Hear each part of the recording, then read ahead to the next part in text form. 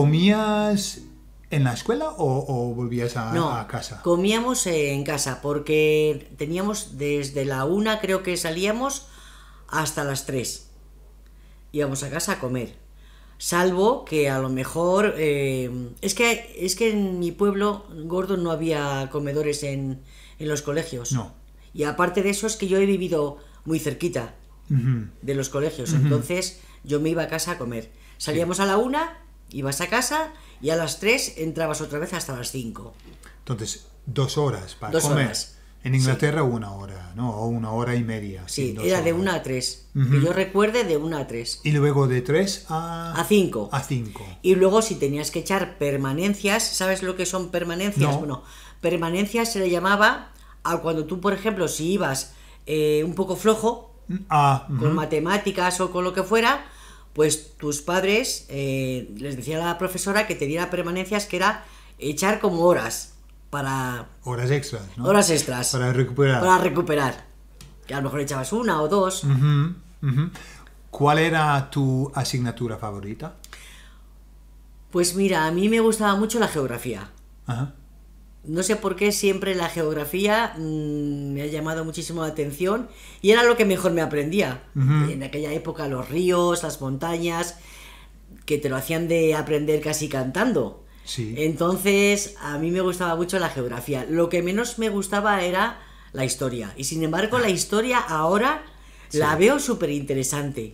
Gordon, porque eh, cuando ves una película y José, que sabes que a José le gusta mucho la historia, y, y ahora me encanta, pero cuando estás, cuando eres pequeño, pues es que la historia la ves un, un rollo, Claro. porque siglos, años, época, reyes, los godos, los visigodos, era para un niño tan pequeño era mucha materia. Claro. Pero la geografía encima es que era bonita, porque claro, el saber, eh, tu vía, la vía galáctea y todas las cosas, el universo, los ríos, todas esas cosas, a mí me encantaba. Sí.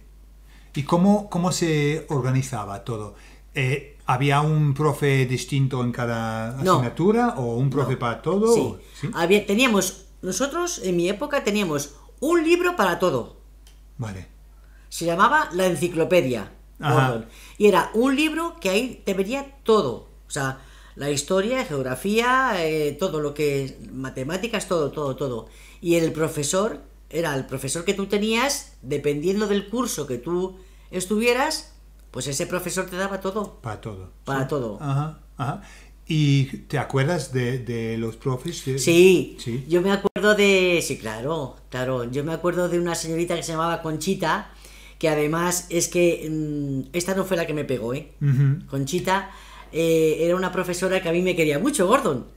Y me enseñó a hacer así. Fíjate qué tontería. Me enseñó a hacer eso.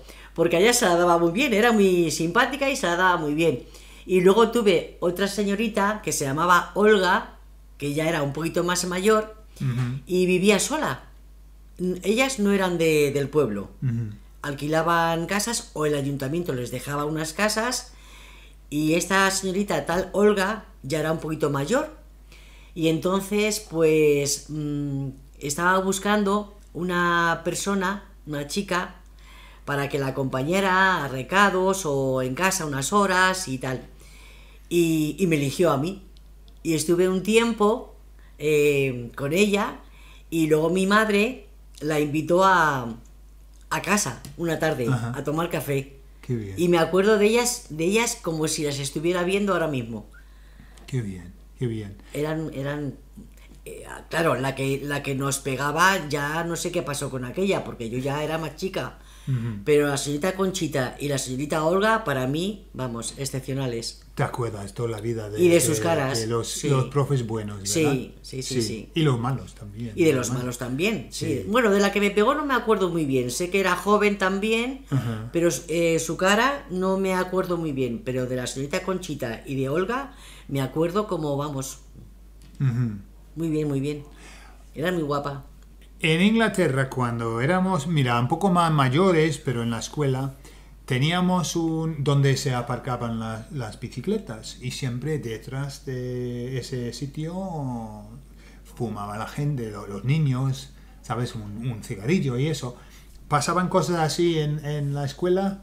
Pues si pasaban gordos yo no lo veía. No. No, yo no lo veía. Yo únicamente veía cuando llegaba el recreo, pues las chicas jugábamos con las chicas y los chicos jugaban con los chicos, Ajá. que entonces, en aquellos entonces, como no teníamos juguetes, pues jugábamos con un clavo, Ajá. con un, con un hueso de, de, de vaca que se llamaba taba. No sé si alguna vez lo habéis oído.